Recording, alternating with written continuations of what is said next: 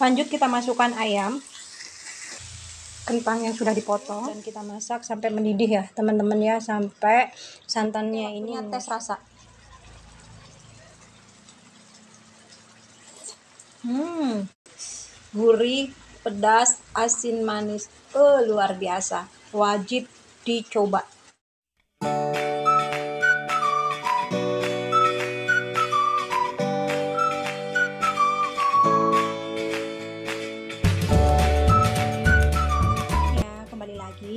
WHI Channel. Salam sehat ya teman-teman. Hari ini aku mau masak kembali dan aku mau bikin ayam lemak cili api ya teman-teman. Ini bahan-bahannya dan aku punya 500 gram daging ayam ya. Ini aku pakai paha atas dan bawah.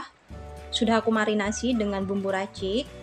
Terus ini ada bahan bumbu halusnya. Sebenarnya nggak pakai bawang merah, bawang putih ya teman-teman. Tapi aku pengen pakai ini. Kalau teman-teman nggak mau pakai juga nggak apa-apa ya boleh di skip bawang merah dan bawang putihnya terus ini ada serai daun salam juga lengkuas kalau teman-teman punya daun kunyit itu boleh banget dipakai karena aku nggak punya ini aku skip ya teman-teman ada garam kaldu jamur gula dan ada merica bubuk.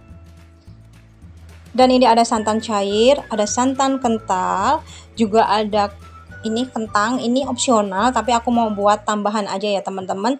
Juga ada cabai merah juga cabai hijau yang sudah diiris-iris nanti buat garnish ya teman-teman ya.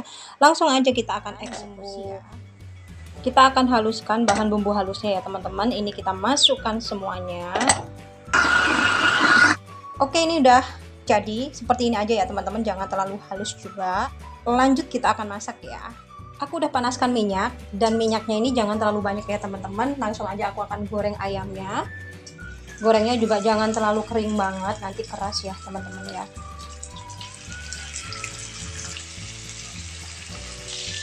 Jangan lupa untuk dibalik ya. Kayak gini cukup dan kita akan angkat ya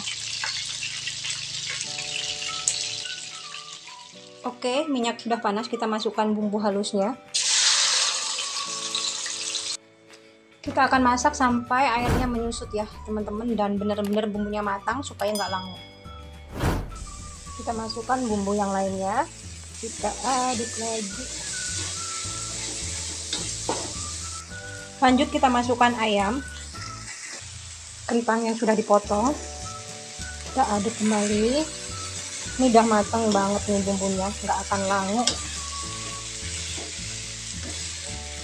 Lanjut kita masukkan santan encernya. Kita masukkan bumbu tiga serangkai. Ada bubuk. Kita aduk dan kita masak sampai mendidih ya teman-teman ya sampai santannya ini menyusut oke ini santannya udah mulai menyusut sedikit tapi kita akan tunggu sampai mendapatkan yang tepat ya teman-teman ya. Oke ini udah menyusut banget. Dan lanjut kita akan masukkan santan kentalnya ya.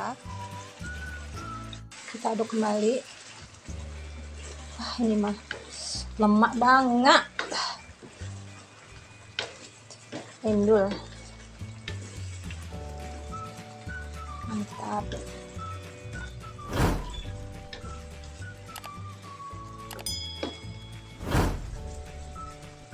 Oke, waktunya tes rasa. Hmm. Hmm. Gurih, pedas, asin, manis. Oh, luar biasa. Wajib dicoba. Mantap. Langsung aja kita akan plating ya, teman-teman ya. Dan ini dia teman-teman, masakanku sudah jadi. Ayam lemak cili apinya ini enak banget. Rasanya itu gurih mantul pokoknya ya. Wajib dicoba di rumah. Thank you udah nonton video aku dan gak skip. Thank you banget. Mudah-mudahan video aku ini boleh bermanfaat buat teman-teman semuanya. Dan jangan lupa like, komen, dan subscribe. Bunyiin tombol loncengnya supaya teman-teman gak ketinggalan video terbaru dari aku. Selamat mencoba. God bless you. Salam sehat. Bye bye